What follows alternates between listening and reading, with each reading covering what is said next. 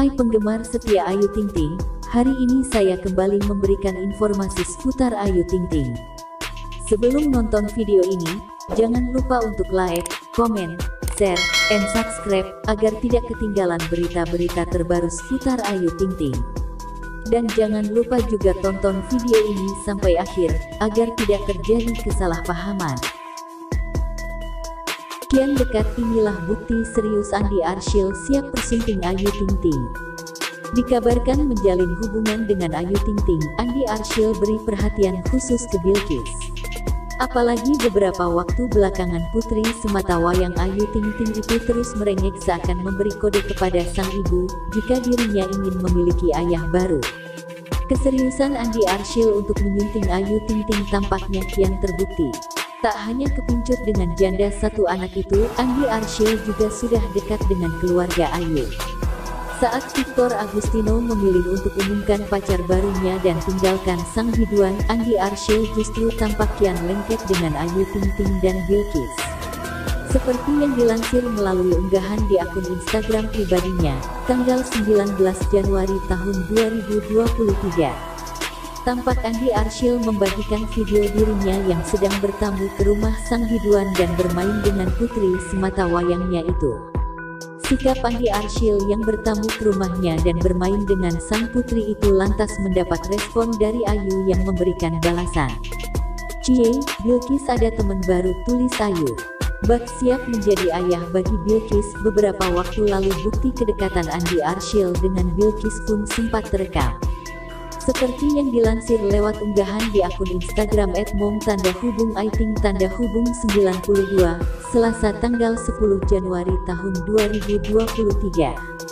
Tampak dalam video yang dibagikan, Bilkis terlihat nyaman bermain dengan sang aktor layaknya ayah sendiri. Main terus ya, makin deket aja, ujar Ayu. Banyak dari netizen yang memberikan komentar positif terhadap unggahan Ayu Ting Ting tersebut. Tak hanya memberikan komentar positif, banyak juga yang mendoakan agar keduanya berjodoh dan berakhir di pelaminan. Itulah tadi berita yang pertama, yuk simak berita yang kedua.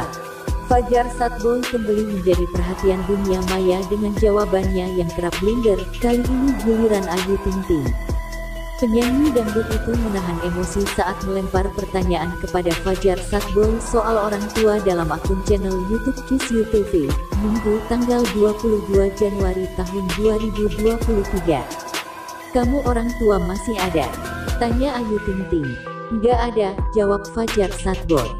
Mimik Ayu Ting Ting pun langsung berubah sedih, seperti merasa bersalah menanyakan hal yang sensitif.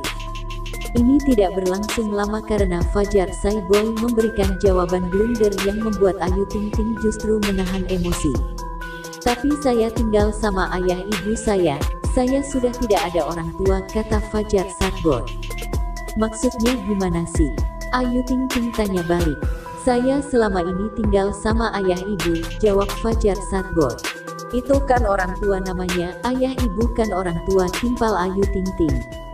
Jawaban Fajar Satboy kembali menimbulkan gelak tawa. Kan orang tua kan kakek nenek ujarnya. Ayu Ting Ting pun menahan emosi, sambil tertawa dan menerangkan maksud pertanyaannya kepada Fajar Satboy.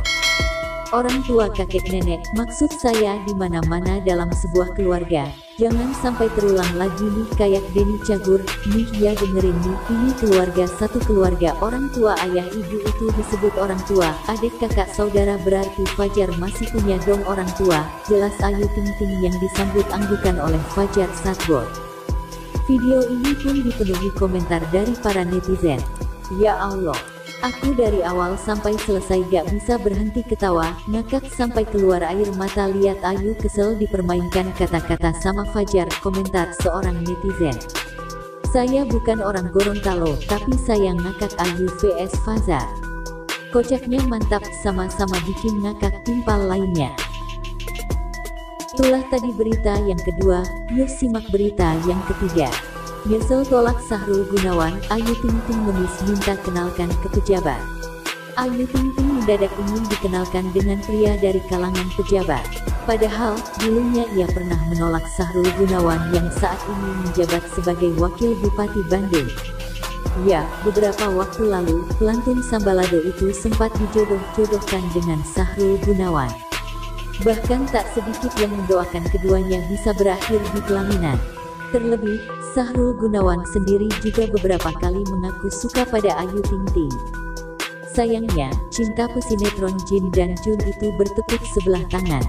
Saat jadi bintang tamu FYP Trans 7 edisi tanggal 6 Oktober tahun 2022 lalu, pria 46 tahun itu menunjukkan chat penolakan dari Ayu Ting Ting.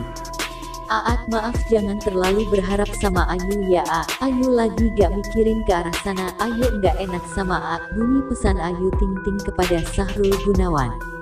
Beberapa waktu lalu berlalu sejak penolakan itu, Ayu Ting Ting justru meminta dikenalkan dengan pria dari kalangan pejabat.